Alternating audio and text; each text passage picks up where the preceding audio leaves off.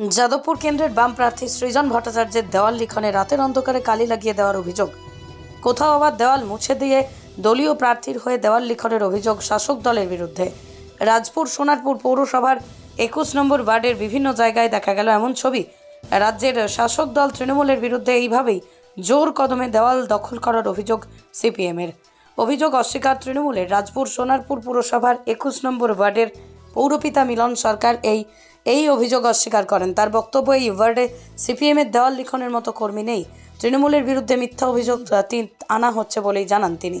অন্যদিকে সিপিএমের বক্তব্য তারা দীর্ঘদিন ধরে এই দেওয়ালগুলোতে বিভিন্ন ধরনের এই কর্মসূচি প্রচার করে থাকেন। এলাকার বাম কর্মী কৃষাণু বিশ্বাস জানান, কাউন্সিলরের লোকজন এইসব ঘটনা ঘটেছে যাদবপুর লোকসভা কেন্দ্রের বাম প্রার্থী সৃজন ভট্টাচার্য বলেন, লাল ঝান্ডাটাকে ভয় পাচ্ছে তৃণমূল, জিততে পারবে না, বুঝতে পেরেই এই সব করছে। দেওয়াল লিখনে কালি লাগিয়ে দেওয়া হয়েছে মুছে দেওয়া হয়েছে কি বলবেন টালিগঞ্জে বিজয়গড়ে কালকে ফ্লেক্স ছিঁড়েছে।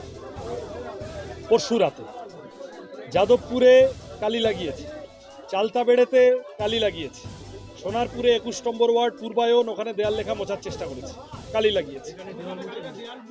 এই যা করছে এতে প্রমাণিত হচ্ছে যত দিন এগোচ্ছে লাল ঝান্ডা শক্তিশালী হচ্ছে লাল ঝান্ডাকে ভয় বাড়ছে সিপিএমকে ভয় বাড়ছে, বামফ্রন্টকে ভয় পাচ্ছে, সৃজনকে ভয় পাচ্ছে, এই কারণে এইগুলো করছে। দেওয়াল লিখে দেওয়াল মুছে, আমি যখন প্রথম প্রচারে বেরিয়েছিলাম, এই তোমরাই আমাকে জিজ্ঞাসা করতে যে আপনার নাম দেওয়াল লেখা কম, তখন আমি বলেছিলাম যে হৃদয়ে যদি লেখো নাম, সে নাম রয়ে যাবে। তাই তো? আর এখন যখন আমরা দেওয়াল লিখছি, তখন ভয় পেয়ে সেই দেওয়াল মুছে দিতে হচ্ছে।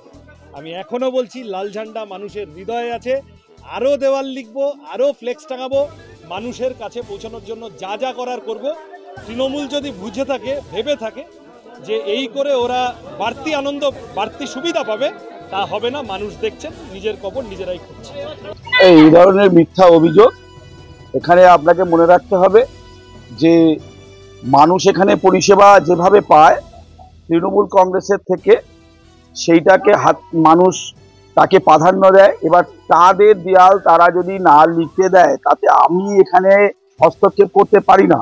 কারণ এটা নির্বাচন কমিশনের একটা অর্ডার আছে যে যদি কারও দেয়াল লিখতে হয়, তার কাছ থেকে মতামত নিয়েই দেয়াল লিখতে হবে। সেই জায়গায় দাঁড়িয়ে থেকে যদি সিপিএম কে মানুষ যদি বর্জন করেছে, তা আমরা এখানে কি করতে পারি?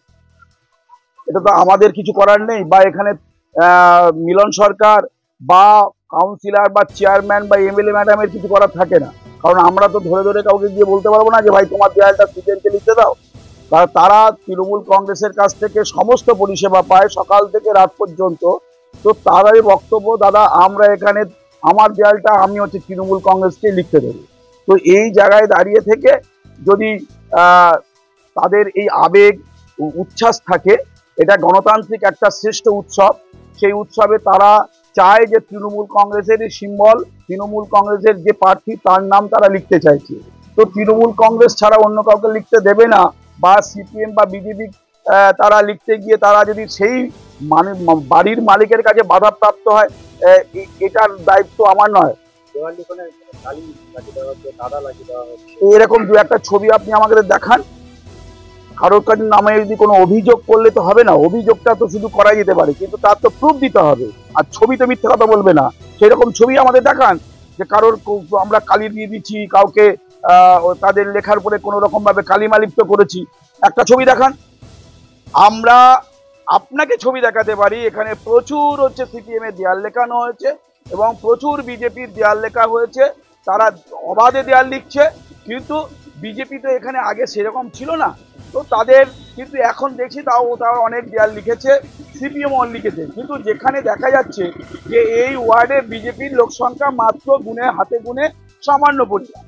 আর সিপিএম এরও তাই। সুতরাং তাদের ছেলে পুলে যেমন নেই বা তাদের হচ্ছে মানুষ সেখান থেকে তাদের চাইছে না, এই বিষয়ে তো আমাদের দায়বদ্ধতা না আমরা মনে করি যে জনগণ যাকে মনে করবে, যার বাড়ি, যার দেওয়াল, সে যাকে দেবে, তারাই সেই দেয়ালটা লিখবে।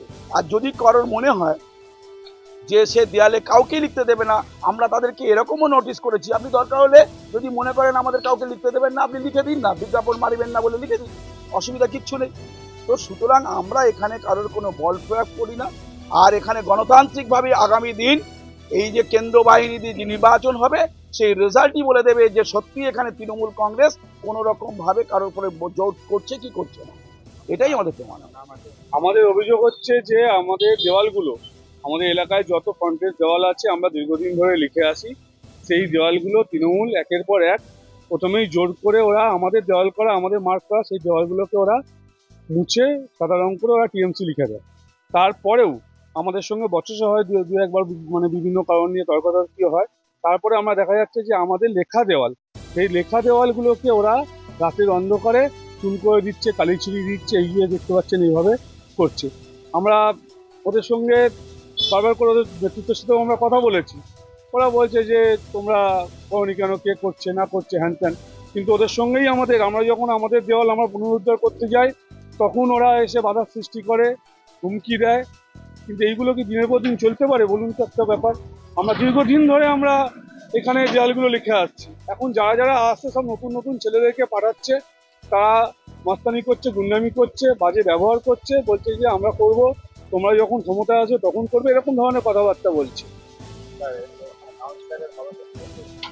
দেখুন, আপনাকে একটা দেওয়াল দেখালাম যে রেলগেটের কাছে, যেখানে লেখা আছে ওই চায়ের দোকানের উল্টো দিকে যেটা।